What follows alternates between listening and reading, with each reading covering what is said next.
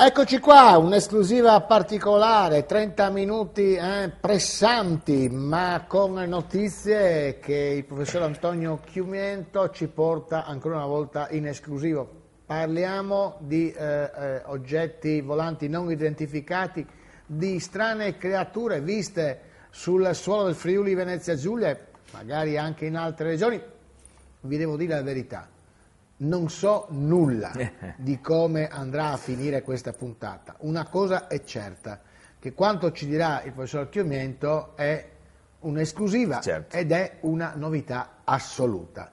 Allora, iniziamo però con una uh, notizia insomma, che sta a cuore a me, lei ha nuovamente iniziato a insegnare, questo è importante. Certo, certo, senza ombra di dubbio. A Udine? Sono lo stringer di Udine dove ah, ho... Beh, ottimo istituto. Sì, sì, ottimo istituto, ho sette classi e ove ce ne fosse bisogno sto benissimo, mi trovo benissimo e se devo essere come mia consuetudine sincero, gli studenti hanno già manifestato veramente un'enorme soddisfazione eh, nei miei confronti. Allora, eh, professor Chiumiento, Antonio, qual è la novità, insomma, principale. Allora, la novità principale è che abbiamo avuto il 20 agosto la presenza eh, di una strana creatura eh, alta eh, a Passonse di Pasian di Prato. Ma veniamo nei dettagli. Allora, eh, ci sono eh, due ragazze che, eh, lo ripeto, il, mi pare che fosse lunedì, sì, il, doveva essere proprio lunedì, 20 agosto ovviamente 2012, ehm, e le due ragazze erano andate a fare una passeggiata eh, portandosi da Passons eh, di Pasian di Prato eh, a, a, piedi in, su una strada che eh, conduce al centro eh, di Pasian di Prato. Ad un certo punto, e questo è molto, anche, molto interessante, in quanto ci si pone l'interrogativo se questa stranissima creatura, alta circa 4 metri, eh, di cui abbiamo parlato abbondantemente per quanto concerne la vicenda della cosiddetta rotondona di Mortegliano, eh, è abbinabile o meno al fenomeno degli UFO. E allora i telespettatori, come è nostra consuetudine, come mia consuetudine, giudichino loro, la loro attenzione viene attirata mm, eh, da dei, come delle specie di lampi che però sono strani lampi di luce. Eh, non sono lampi di un temporale, il cielo è perfettamente sereno e quindi la loro attenzione è attratta da questi, fra virgolette, lampi di luce. Ad un certo punto una di loro due eh, cade con l'occhio, eh, viene attirata la sua attenzione, da un lampione stradale eh, che si accende e si spegne. Dietro questo lampione, da dietro questo lampione meglio, appare una sagoma. Appare una sagoma che la ragazza facendo eh, come dire, la stima rispetto all'altezza del lampione non è alto meno di circa 4 metri. E vede come una sorta di, lo definisce come uno, un tronco di persona, fra virgolette persona, e con due passi, dico due passi, la ragazza afferma che con un passo è arrivato a metà della strada e con l'altro passo è, è passato a, eh, sul marciapiede, eh, o meglio, sulla pista ciclabile dove loro stavano passeggiando. E poi ha notato che questo essere ehm, praticamente è come se fosse un attimo soffermato sul punto dove era giunto e dopo essersi soffermato, dando l'impressione netta di guardarsi attorno, si è come tuffato, attenzione, in un campo lì vicino, cioè, se non ricordo male un campo di frumento o di mais, una delle due coltivazioni. E quello che è ancora interessante è, mh, abbinamento al, presumibilmente al fenomeno degli UFO, è che nel cielo c'erano delle sfere di luce eh, insolite e l'essere, nel momento in cui si è tuffato nel campo mm. e ha preso una certa direzione, la ragazza quella che si è accorta del tutto, invece la sua amica è riuscita, perché aveva l'attenzione ancora rivolta verso quegli strani lampi di luce, la, la sua amica, dicevo, è riuscita a eh, vedere il, il movimento eh, del fogliame provocato da questo essere. Questa è una notizia che nessuno sapeva, eh, appunto attraverso eh, questo programma ne diamo notizia, perché per l'appunto questa è la sesta, sesta indagine che io personalmente faccio in merito all'osservazione di una stranissima creatura, di uno stranissimo Ma che sia la medesima? Ecco, il, nel Friuli e in una località nei pressi di Portogruaro.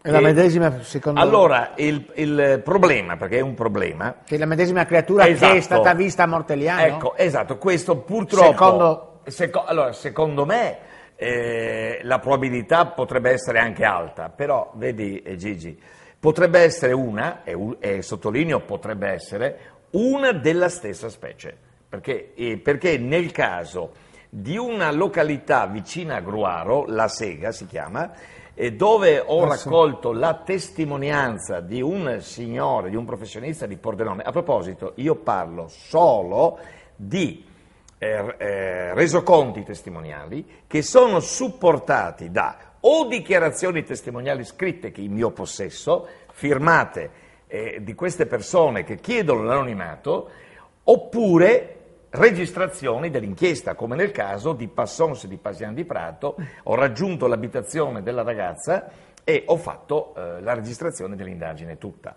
E, e nella località menzionata prima, della Sega, eh, località appunto di Gruaro, questo professionista di Pordenone, eh, la cui attenzione era stata attirata dopo le 22.30, adesso di un giorno che eh, chiedo scuse ai telespettatori, magari non mi ricordo precisamente, le, in quanto sapete tutte le notizie che via via ho in mente, non è che posso fissare la, la data precisa, comunque stava attraversando l'abitato menzionato prima, in macchina, stava rientrando da Zano X dove lui abita, la sua attenzione è stata tratta da una specie di vento che era strano perché non riusciva a capire un certo tipo di vento che coinvolgeva una zona, un campo, sì, esattamente, un campo lì vicino.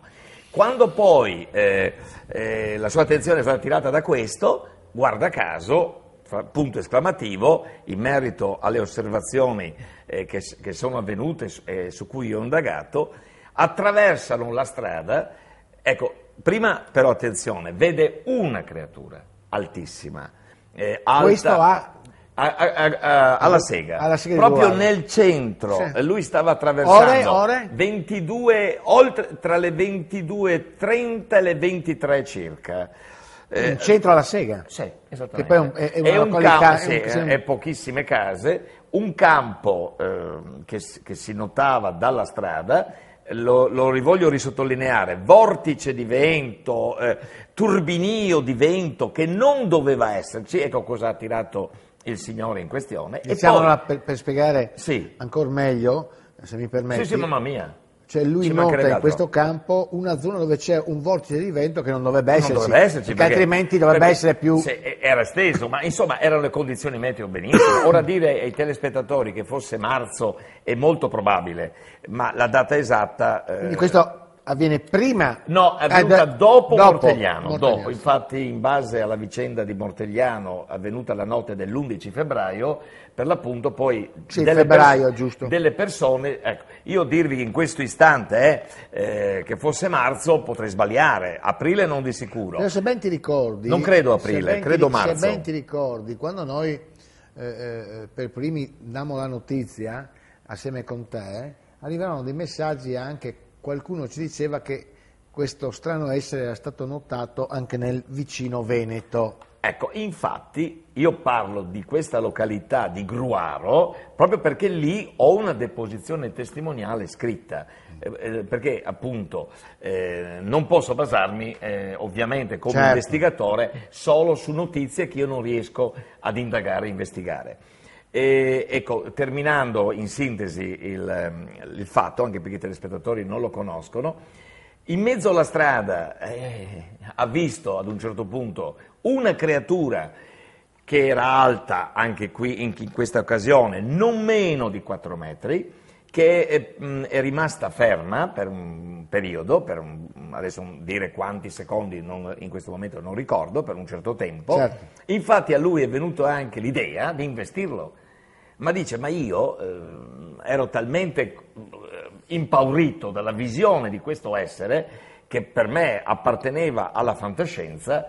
Pochi... Anche lui lo, è, è, alto questo essere? Sì, è circa 4 metri. Beh, quello di Mortelliano. È, è, o lo stesso o uno della, spe, della stessa specie di quello di Mortelliano. Immagino ti abbia fatto anche un identikit. Esatto. Più o meno è Più quello. o meno è quello. O lo stesso o uno della stessa State specie. State intanto vedendo, eh, ovviamente cari amici e amiche, eh, l'identikit dell'essere visto a Mortelliano dal giovine, come diceva Pertini, giovine che noi non nominiamo perché voi sapete che ha deciso insomma, di eh, tenere eh, l'anonimato eh, dopo insomma, l'esplosione della notizia, dopo che lui stesso era venuto qui nei nostri studi a dichiararsi. Ma adesso io, poi... se mi permetti, se abbiamo il tempo, allora volevo terminare e dirti anche la questione eh, del ragazzo eh, di Codroipo. Perché? Eh, perché poi Terminiamo allora alla sega. Sì, no, no, ma termino quello sicuramente, ma poi ti dico perché anche lì c'è una notizia che eh, i telespettatori eh, giudicheranno perché è veramente allarmante. Ecco. Allora, dicevo che ad un certo punto qua, eh, l'essere ehm, grande, quello di circa 4 metri di altezza, nel momento in cui dire, ha cominciato a camminare in un certo modo, eh, eh, particolare e da allontanarsi, appare un altro essere, più piccolo di lui. Non è riuscito a vederlo bene, però lui dice non era umano neanche questo. Quindi abbiamo nei dettagli, nel mio libro futuro sul, eh, sulla creatura di Mortegliano, avremo anche... quando sei in libreria? Eh, I primissimi giorni di dicembre. Fra l'altro è dedicato anche a te. Ti ringrazio. Per, ma di cosa? Per, proprio per non è una questione che no, io... beh, ci conosciamo. Cioè, è una questione che io apprezzo moltissimo. Spero tuo... di venire a presentartelo in qualche Mamma luogo. mia, il tuo modo di fare giornalismo e non è circostanziale. Io apprezzo, ho apprezzato sempre e non è questione eh, no, non del tuo modo di essere giornalista. E ne voglio dare atto proprio in questo volume che dovrebbe, eh, come dire, fra virgolette, potenzialmente fare il giro del mondo. Ora, il ragazzo perché ha mandato la raccomandata eh, a voi, eccetera, per l'anonimato. Anche perché anticipo... A noi, a Mediaset, a Mediaset a anche a me. Però anticipo, perché sicuramente eh, starà ascoltando il mio, il mio, giovane amico di Codroipo, eh, ha autorizzato me, eh, nel libro eh, sulla creatura di Mortegliano, di eh, pubblicare nome e cognome. C'è anche un suo scritto firmato da lui, per la sua esperienza, per come lui ha vissuto quell'esperienza e la reazione di una parte dell'opinione pubblica. E ci sarà anche uno scritto del papà. Allora, attenzione, interpretino i telespettatori, così vi do anche una notizia. Da mesi, da quando la vicenda di, ehm, della rotonda di Mortegliano è saltata, fu- come dire, è esplosa, la famiglia del giovane ha ricevuto ripetuti, ripetuti, fatti trovare meglio, biglietti con eh, delle minacce alla famiglia stessa, a me, per quanto attiene questa storia. E, minacce di che tipo, scusa? Minacce eh, soprattutto verso la mia persona, verso l'incolumità mia e anche delle, come dire, delle offese pesantissime alla famiglia stessa. E si firma questa, eh, questa fantomatica persona con G.P. Stiano attenti i telespettatori.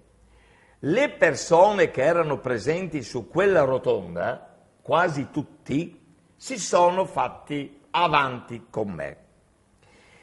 La, eh, o, la maggioranza mi ha eh, mandato tramite posta elettronica dove io poi ho potuto controllare nomi, cognomi, numeri telefonici e quant'altro, c'è questa GP, questa fantomatica persona, che ha individuato o avrebbe individuato là dove le persone abitano. Noi non sappiamo, io Chiumiento Antonio cioè, non fa, so perché, fa, ti faccio capire subito. E anche un'altra notizia. C'è questo GP. No, un'altra notizia che vale veramente la pena per voi tele, e, e, giornalisti. GP, questo GP cosa fa? Manda dall'email tutti? Uno si chiede, si chiede, stanno tutti bene quelle persone coinvolte quella notte dell'11 febbraio? No. Una famiglia mi sta chiedendo aiuto. Perché non scusa, E mi sta chiedendo aiuto in quanto una delle persone presenti su quella rotonda ha dei problemi. Non, non so dirvi, problemi gravi, abbastanza gravi, abbastanza delicati, dopo la visione di quella creatura. Io non so, come ricercatore, come investigatore, come abbia influito la creatura su di lui. Fatto sta che, estrema sintesi perché il tempo vola, ha lasciato l'attività, ha 34 anni, è sposato, ha lasciato l'attività al fratello maggiore ed è attualmente, o quantomeno ieri, ieri l'altro, ricoverato in un ospedale di Udine. Perché? Perché di notte, di notte, lui vede la- la- l'animale. ha degli incubi.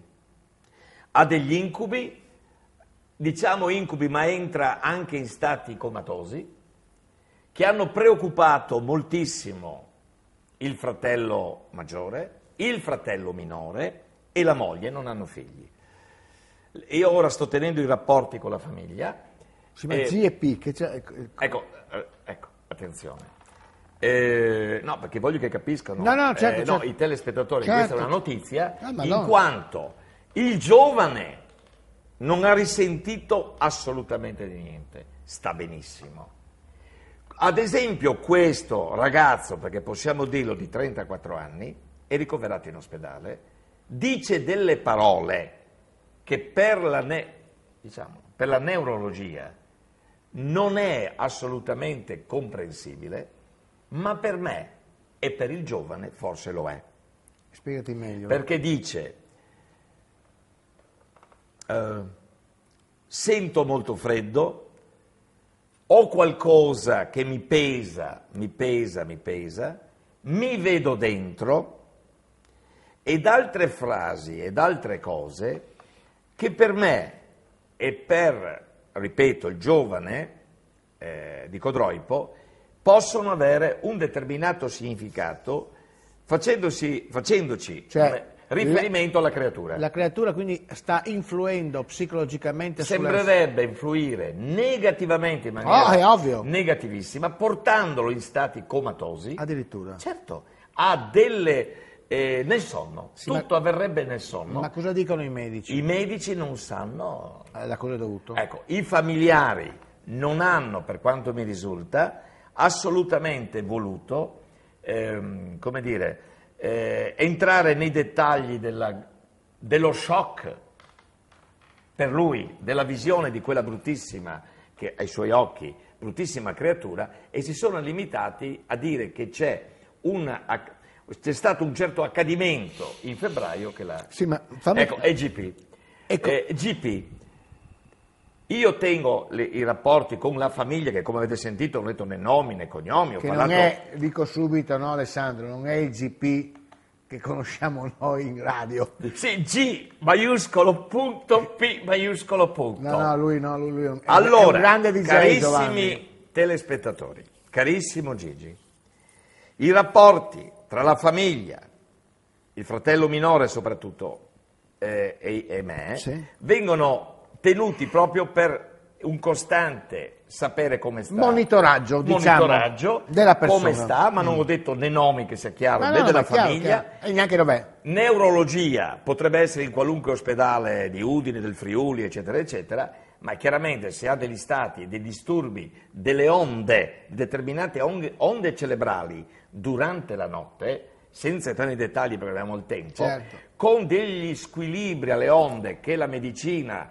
non riesce a capire quale possa essere il motivo, ma io che so essere un testimone, puntini puntini, poche notti fa, alle due di notte, suona il campanello della casa del ragazzo. Il ragazzo è ancora ricoverato in ospedale.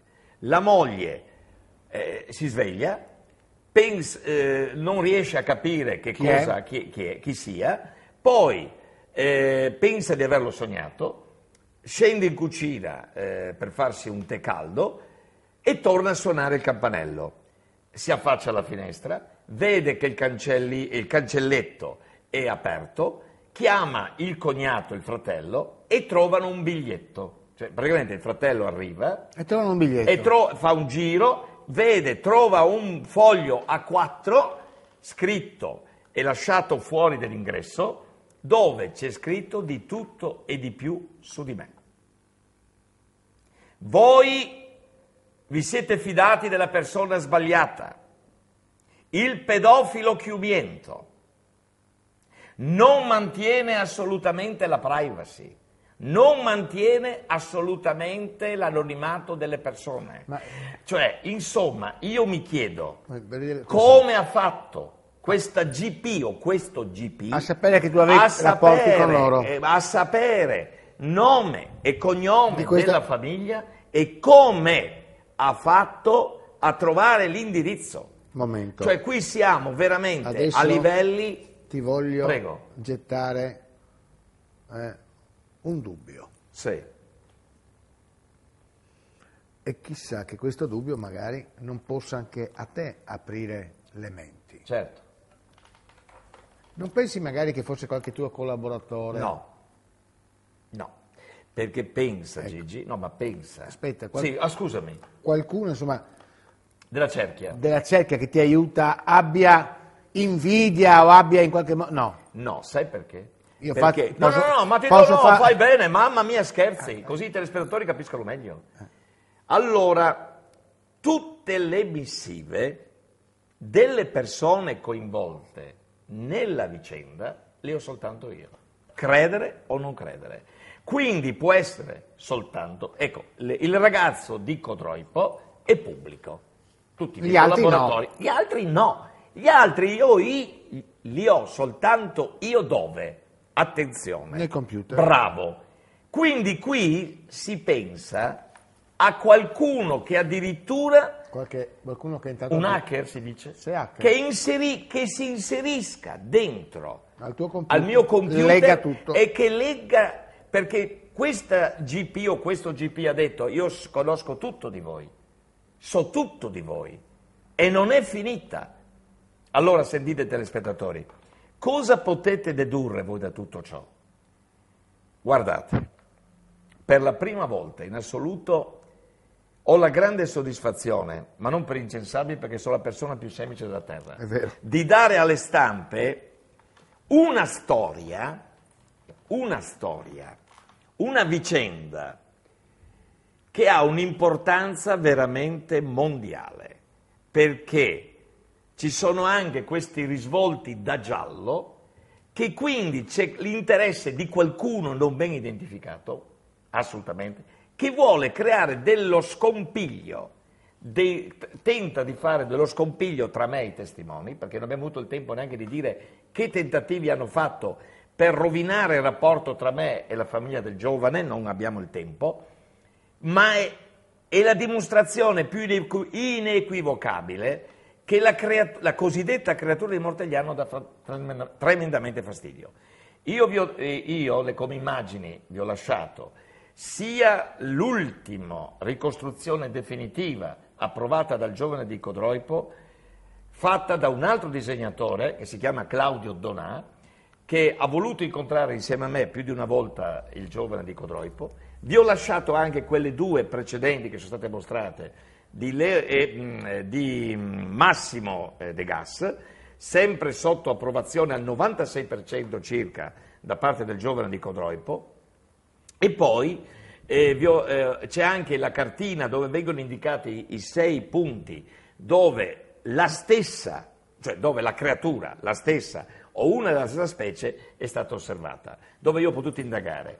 E poi le, le- le pian- diciamo, le foto aeree, le piantine, meglio le piantine, non, non credo che siano foto aeree, scusatemi, piantine o foto aeree, adesso non ricordo, dei, eh, delle zone vicino alle rotonde.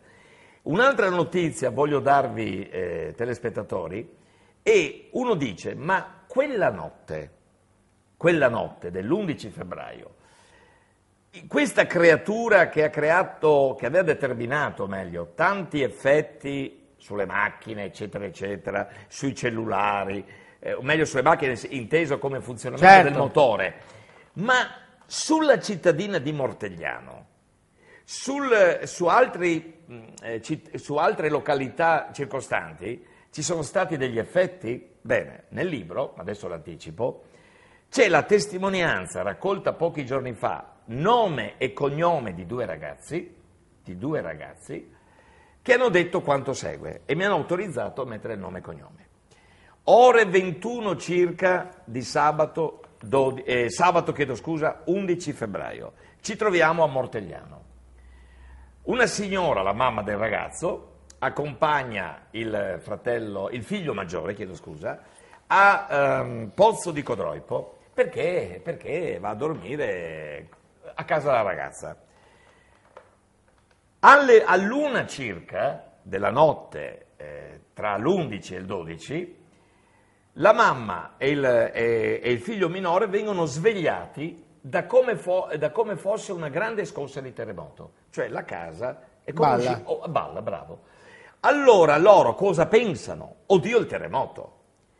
Si affacciano alla finestra, si rendono conto che non c'è scossa di terremoto, in quanto non c'è nessuno per la strada. Che- E allora, più che terremoto, le- i due testimoni, eh, ripeto, uno di due nome e cognome, affermano trattarsi co- che si trattava come una sorta di grande ultrasuono. Non è finita. Alle due di notte chiama eh, il, il- il figlio maggiore o il fratello maggiore e, eh, e- e spaventatissimo dice, ma sapete, e lui non sapeva cosa era successo a Mortegliano come una specie di terremoto. Voi non avete neanche idea che paura abbiamo preso io e la ragazza. Siamo stati svegliati eh, verso le due di notte perché, eh, sì, poco tempo fa, chiedo scusa perché ho telefonato intorno alle due, poco tempo fa siamo stati svegliati, attenzione, pensate voi, come un film di fantascienza. Allora, tutti si sono messi d'accordo, incredibile, è assurdo, non è possibile. I cellulari suonavano in continuazione, Gigi, senza nemmeno toccarli. Si accendevano e si spegnevano e suonavano che loro non erano in grado di spegnerli. Si sono, spaventatissimi, si sono affacciati alla finestra, questo ha eh, eh, Pozzo di, come- Pozzo, sì, Pozzo di Codroipo. Ospin- Pozzo. Ospinbergo. No, no, Codroipo, Ah, Codroipo, Codroipo. Pozzo di Codroipo, e, guarda- e hanno guardato fuori dalla finestra. Che sta succedendo? Cosa hanno visto? Quello di altre testimonianze da me raccolte. I lampioni stradali si accendevano Ma e questo- si spegnevano in sincrono con l'accendersi e lo spegnersi dei cellulari. Guarda, questo eh, per, quanto, per quanto ovviamente eh, ne so io, il- il- eh, dopo aver proposto la, la- la trasmissione allora, ti ho anche poi edotto del tutto, sono arrivati dei messaggi da gente di Sedeliano e delle zone contermini, ma anche di Codroipo, le quali hanno affermato che ad una tal ora della notte i lampioni si accendevano e si spegnevano. Cioè abbiamo avuto altre, altre quindi vai, vai a corroborare altre testimonianze. Gigi, posso permettermi di far, di far vedere questi libri che non li trovano? O ti dispiace? Apri gli occhi, manca un minuto e 37 Scusami secondi. se mi permetto, eh. La settimana prossima ancora un appuntamento con l'amico eh, Antonio Chiumiento, con l'esclusiva in questo caso. eh, metterei l'appuntamento con gli UFO, questo è chiudi... Ah, apri gli Apri occhi. gli occhi. Alieni tra noi, eh, alieni tra noi, i politici direte voi. No, no, no, qui sono, proprio sono alieni nel vero senso della parola e ancora l'UFO nauta, anche qui storie vissute da persone ovviamente e, e da eh, uomini e No, donne. ma siccome molta gente non riesce a trovarli, Ecco. posso darle il mio indirizzo di posta e dai il elettronica? tuo indirizzo di posta elettronica? Antonio, trattino basso, underscore, chiumiento, chiocciola, libero.it. Uno- Grazie mille, veramente Ah. perché tanti non li riescono No, a trovare per in allora, Italia. allora uno Grazie. Può crederci e non crederci. Uno può sorridere, sghignazzare, uno può seriamente pensarci, ma è questo il bello della vita. E poi, Ah, permettimi Gigi, una sola parola. Mi devi permettere per l'amicizia che abbiamo, perché mi stavo dimenticando, guarda. Io sono stato tantissimo male, abbiamo 15 secondi, tantissimo male. Mi- permettimi per l'amicizia che abbiamo da anni. Guarda, Eri io super sono- stressato. Guarda, ero super stressato. E guardate, le medicine convenzionali non mi facevano un bel niente, mi potevano soltanto calmare. Ma una signora, veramente una professionista che si chiama Nadia Piazza, che ti prego di intervistarla. andremo a intervistare, sì. Guarda, scusami perché No, no, veramente no. questa signora Nadia Piazza infatti ti ho- ti ho trovato è una, è una professionista, ma me l'ha dimostrato perché applicando la, la io- la- la si chiama rif- riflessologia plantare e massoterapia. Era, io poi mi sono un po' informato ed era conosciuta anche dai faraoni, degli antichi Sì, è egiziani. vero, è vero, è vero. Sotto i piedi noi abbiamo la corrispondenza dei vari organi. Guardate, mh, credetemi se Abbiamo potete. una pianta organica. Guardate, credetemi se potete, stavo veramente male. No, no, ma- Pensate allo stress di essere allontanato da una scuola come un delinquente e per l'accusa di molestie sessuali.